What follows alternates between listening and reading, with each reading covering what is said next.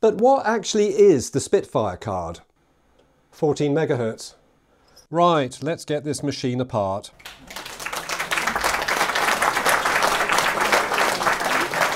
Hello and welcome to a hardware related video, something slightly different this time.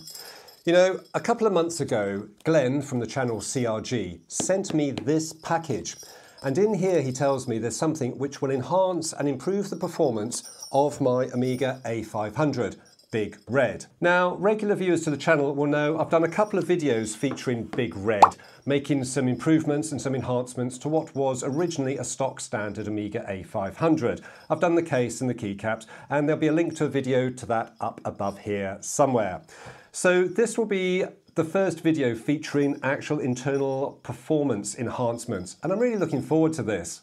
So without further ado, let's get this package open and see what's inside.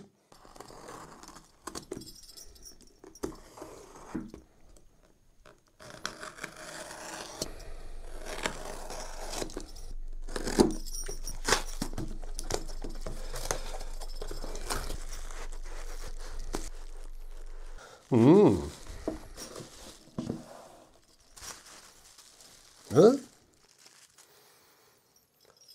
A Spitfire.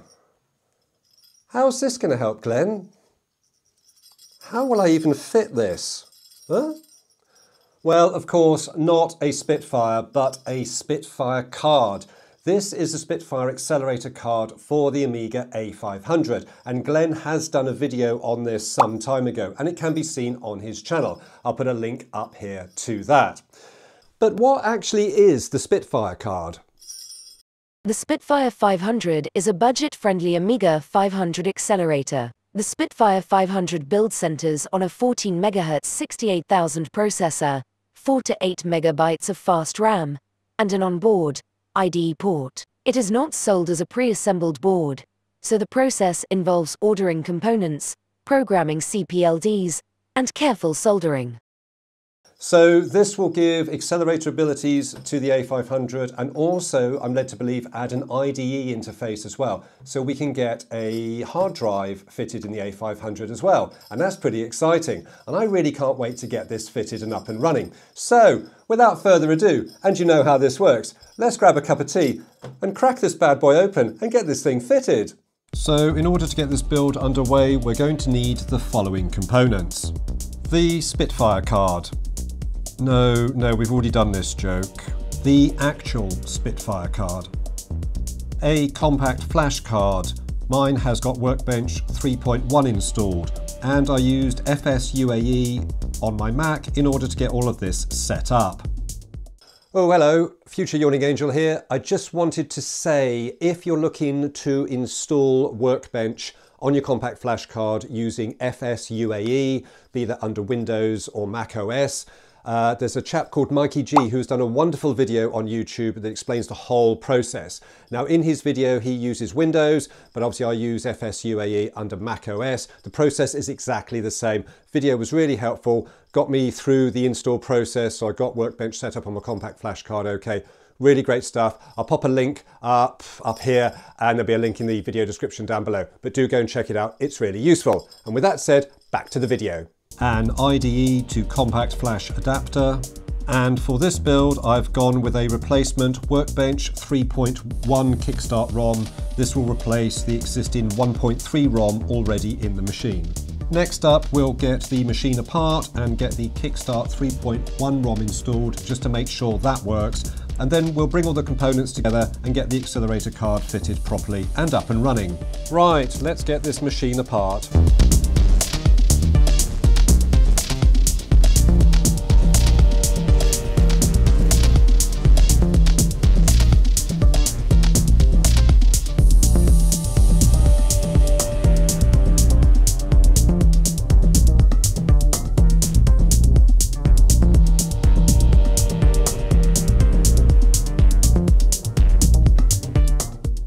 So here's the existing ROM, which I'm going to take out and replace with the new Kickstart 3.1 ROM. So hopefully jump cut to the new ROM being fitted. And there it is fitted. That was quite an easy process. The next step, put the machine together loosely and then power it up and see if this ROM actually works. Here we are then firing the machine up. And yes, it does. Kickstart 3.1 ROM is working. So the next job is to remove the CPU and fit that to the Spitfire card. The Spitfire card will then fit in to the CPU socket. Easy. And it's out. So I've managed to fit the CPU to the Spitfire card okay. That was quite an easy process. There's a marker on the Spitfire card which shows you the orientation of the CPU, which way it is meant to go in, and that helped me immensely. So the next thing then is to fit the Spitfire card into the CPU socket and uh, power it up and see if this works. The Spitfire card is now fitted into the CPU socket it was a really snug fit, but I was gentle and managed to get it in there okay, so it's fitted in there nice and tightly, and I'm quite happy with the fitment. So next up, I'm going to fit the compact flash card to the CF to IDE adapter, fit that to the Spitfire card, and then we'll close the machine up loosely, connect it up to a monitor, power it up, and see what happens. So I only managed to get screen capture footage of this momentous event but I powered the machine up, the monitor seemed to flick to life, we had floppy drive access, and then all of a sudden the machine booted up, it booted from that compact flash hard drive. I was absolutely over the moon. So happy that I'd actually managed to get this card fitted with no problems at all.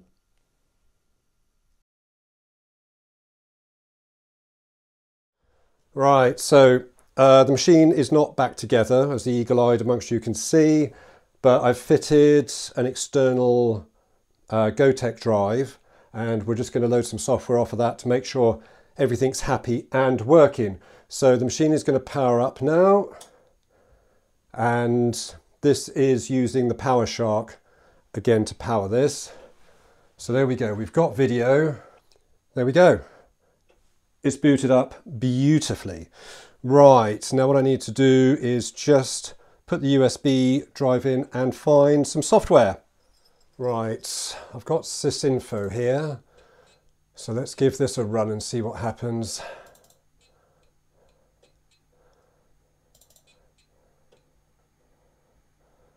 Right, um, let's check speed, computing speed. So there we go. Look at that, Dhrystones, 1432.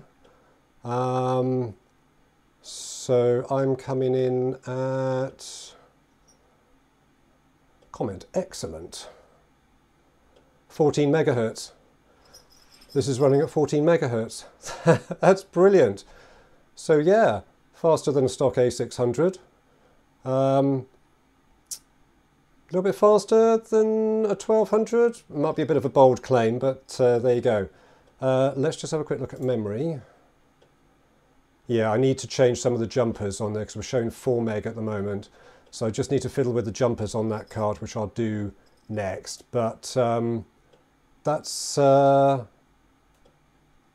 yeah, it's working. It's, it's running at 14 megahertz. I've got an A500 now running at 14 megahertz. That's brilliant. I'm so happy with that. Fantastic stuff. Brilliant. So this was showing 4 meg of RAM. It needs to show 8 and there's a jumper just in here, JP2. Probably not sure if the camera can pick that up. Um, but JP2, I just need to remove that cover and that should give us the 8 meg. Because over here on the actual card itself, it does say JP2 4 slash 8 meg. We know we're getting 4 meg at the moment, just need to take that off, should give us the 8 meg that the card can deliver. So we'll get that done and then do one last test. Time now for some shaky handheld camera footage just to show that the cap on the JP2 jumper has been removed. So with it on, we've got 4 meg of RAM. With it off, we've now got 8 meg of RAM. And if we look at the text here, if you can read that, it says JP2 4 slash 8 megabyte. So now with that taken off, this card is now delivering 8 meg of RAM. Awesome. So we can see here, firing the machine up, Workbench is showing 8 meg of RAM. Actually, it's showing a bit more. The eagle-eyed amongst you may have noticed that I've actually got more than 8 meg of memory showing on this machine. The Spitfire card has given me 8 meg, but I've also got an internal half meg RAM expansion fitted to Big Red as well. Hence, I've got more than 8 meg of RAM. So hopefully that clears that up. So with everything installed and working, I can now screw the machine back together because our work here is done.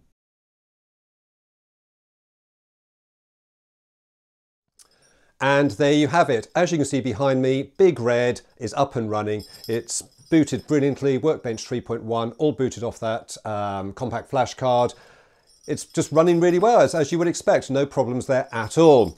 Also, just to test things out, I've installed some software from Original Floppy. So my copy of Eye the Beholder from Original Floppy Disks, that has installed onto the hard drive as well. That went really easily. And also I decided to install my copy of Populous 2. Once again, that installed with no problems and runs perfectly. So in terms of a functioning A500 that I can use, no problems at all, it just works. I'd just like to take some time to say a massive thank you to Glen from the channel CRG, Casual Retro Gamer, for going to the lengths that he did to get these Spitfire cards assembled, tested and shipped out to people. Glen, thank you ever so much. I really, really appreciate your efforts on this. It's totally transformed Big Red and I can't wait to see what else I can do with this machine now. If you've not already done so, do go and check out Glen's channel. There'll be a link in the description down below. And if you haven't already done so either, please sub to his channel. Glen makes some amazing hardware videos. And as a software guy, I find his hardware videos really interesting. So go and check him out. Make sure you do it. So going forward, there's a couple of jobs still outstanding on Big Red and a couple of things I need to address. First of all, I need to get the return key sorted out on here. Yes, the return key's still not working since I did the keycap replacement, which is a bit frustrating. Thankfully, the enter key does work, so I've been able to use the machine uh, without any problems so far, but I do need that return key up and running. Uh, also, this external Gotek drive, I've got some plans for this, some cosmetic changes coming up to this in a future video. So make sure you subscribe as to not miss out on that one. Also, I've noticed I've got a bit of a challenge when it comes to transferring larger files onto the A500. Now, obviously on an A600 and an A1200, which historically have uh, internal hard drives, there's the external PCMCIA slot where we can put an external compact flash card in and transfer files that way from another machine. Obviously, the A500 doesn't have that, so all I've got is the internal floppy drive and of course the external Gotek drive in terms of enabling me to transfer files. So I'm not sure how I can get larger files across onto this machine. So if anyone's got any ideas or thoughts or solutions, drop them in the comments down below. Thanks. And that sums it up for this video. Thank you ever so much for watching if you've made it this far. If you liked the video, give it a thumbs up. I'd really appreciate that. And if you haven't already done so, please subscribe to my channel as it will help my channel grow. Uh, lots more videos like this coming up. I'll be back on the AMOS trail again at some point. We need to get AMOS installed on this compact flash card in this machine now. That's going to be exciting. Um, lots of AMOS projects coming up and also a fair few hardware projects too.